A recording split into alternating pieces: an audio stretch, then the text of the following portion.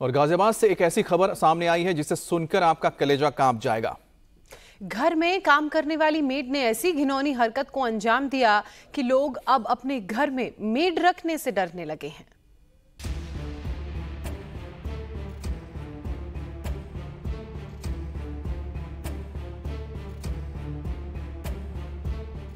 Video को धुंधला करने के लिए हमें मजबूर होना पड़ा है।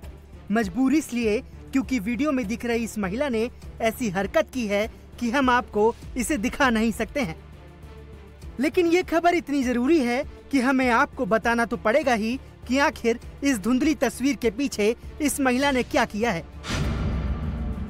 सीसीटीवी में कैद ये तस्वीर गाजियाबाद की क्रॉसिंग रिपब्लिक सोसाइटी के एक फ्लैट की है। ये महिला इस घर में खाना बनाने का काम करती है, लेकिन ये खाना कैसे बना रही थी, उसे आप जानेंगे तो हैरान रह जाएँगे। ये महिला पेशाब से आटा गूंथ कर रोटी बनाकर घर वालों को खिला रही थी।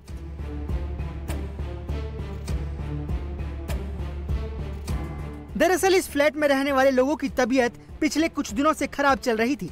घर के लोगों को शक हुआ कि कहीं मेड उनके खाने में कुछ गड़बड़ तो नहीं कर रही है।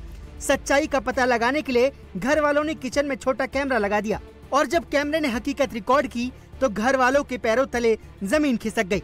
रीना नाम की ये मेड आटा गूंथने से पहले एक बर्तन में यूरिनेट करती हुई कैमरे में कैद हुई।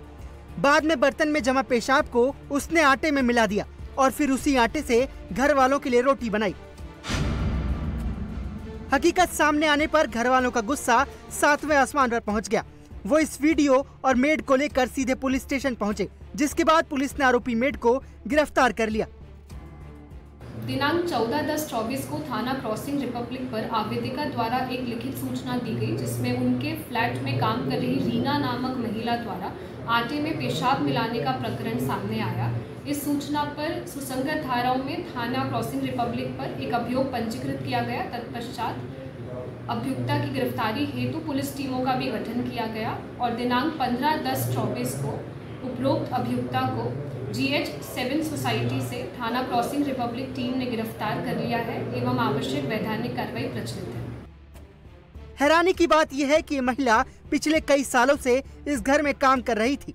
घर वाले भी भरोसा कर उसके हाथों से बना खाना खा रहे थे। लेकिन उन्हें क्या पता था कि वो इस तरह से उन्हें खाने में गंदगी मिलाकर खिला रही थी। यूपी के सीएम योगी आदित्यनाथ ने इस तरह के मामले में पुलिस को सख्ती से निपटने को कहा है।